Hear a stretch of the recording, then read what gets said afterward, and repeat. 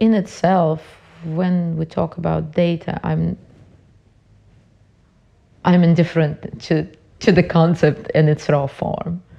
It's a resource. It's a it's something that you use in your work, but it's not in itself something that we need to really focus so much on unless we speak about data and power, which would be slightly different to the context of the conversation that we're having now.